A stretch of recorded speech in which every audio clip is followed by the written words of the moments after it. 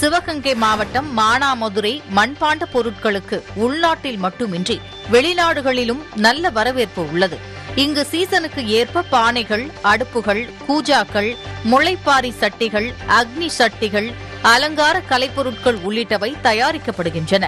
இத்தொழிலில் மானாமதுரை குலாலர் தெரு மற்றும் சுற்றியுள்ள பகுதிகளைச் சேர்ந்த நூற்றுக்கும் மேற்பட்ட குடும்பங்கள் ஈடுபட்டு வருகின்றன. அக்டோபர் ஏழாம் தேதி நவராத்திரி விழா தொடங்கி ஒன்பது நாட்கள் நடக்க உள்ளது. இதையொட்டி கோவில்கள் வீடுகளில் கொலு பொம்மைகள் வைத்து பூஜை செய்வது வழக்கம்.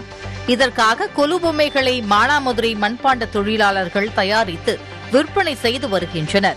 இந்த ஆண்டு சரஸ்வதி மகாலட்சுமி ஐஸ்வர்ய லட்சுமி முருகன் விநாயகர் பள்ளிகொண்ட பெருமாள் திருப்பதி பிரம்மோற்சவ செட் பிரதோஷ மூர்த்திகள் அரசியல் தலைவர்கள் ஐயப்பன் குருவாயூரப்பன் சாய்பாபா விஷ்ணு சிவன் பார்வதி உள்ளிட்ட நூற்றுக்கும் மேற்பட்ட பல்வேறு விதமான பொம்மைகளை தயாரித்து உள்ளனர். இதுகுறித்து மண்பாண்ட தொழிலாளர்கள் கூறுகையில் சீசனுக்கு ஏற்ப மண்பாண்ட பொருட்கள் தயாரிக்கும் போதே கிடைக்கும் ஓய்வு நேரங்களில் கொலு பொம்மைகளையும் தயாரித்து விடுவோம் எனவும் நவராத்திரி விழா தொடங்குவதற்கு பதினைந்து நாட்களுக்கு முன்னதாக பொம்மைகளை விற்பனைக்கு காட்சிப்படுத்துவோம் எனவும் தெரிவிக்கின்றனர்.